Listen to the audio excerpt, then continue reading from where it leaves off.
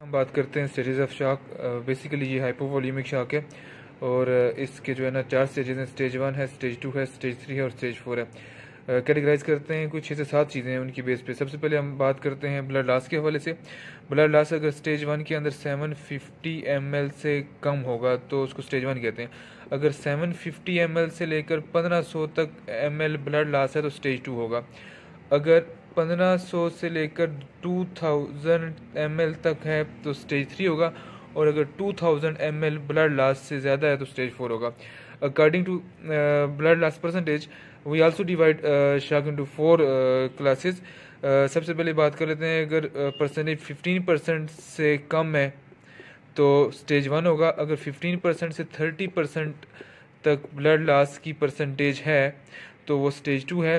then 30% to 40% loss uh, eh, comes in the category of stage 3 and at the end if more than 40% loss is there then it's stage uh, 4 uh, in case of pulse rate uh, in stage 1 mostly it is below 100 per minute.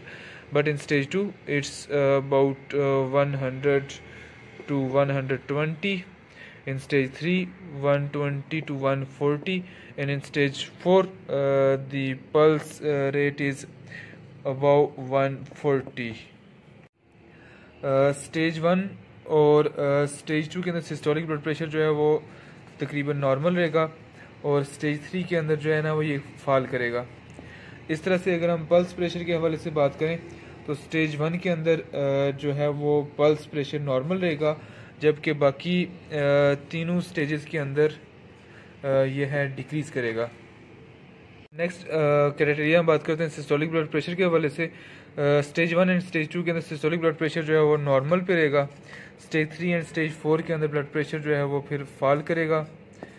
इस तरह से pulse pressure stage one के अंदर जो है वो normal रहेगा, जबकि stage two three and four के अंदर फॉल करेगा। रेस्पिरेटरी रेट के हवाले से अगर हम क्लासीफाई करें तो स्टेज वन के अंदर fourteen to twenty per minute चलेगा जबकि स्टेज टू के अंदर ट्वेंटी टू थर्टी जाएगा। स्टेज थ्री के अंदर थर्टी टू फोर्टी जो है ना वो रेस्पिरेटरी रेट रहेगा। और फाइनली स्टेज फोर के अंदर more than thirty five respiratory rate आप करेगा। यूनिट आउटपुट के हवाले से बात करें uh, तो इसमें यह है कि स्टेज uh, जो वन है उसमें less more than thirty M per R आपकी यूनिट आउटपुट होगी। जबकि स्टेज टू के अंदर ट्वेंटी टू थर्टी आप कह सकते हो M L per R according to shock का स्टेज बढ़ेगा तो आपकी यूनिट आउटपुट कम हो जाएगी।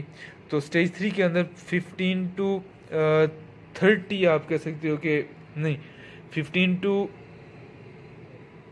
five to fifteen जो है ना वो हमारे पास एम एल पर आर रहेगी और फाइनली एट द एंड जो स्टेज फोर के अंदर यूरिन आउटपुट हो जाएगी वो नेग्लिजिबल हो जाएगी। मेंटल स्टेटस के हवाले से बात करें तो स्टेज uh, वन के अंदर स्लाइटली एनक्शियस होगा बंदा स्टेज टू के अंदर माइल्डली एनक्शियस होगा स्टेज थ्री के अंदर एनक्शियस भी होगा और साथ कन्फ्यूज़ भी होगा।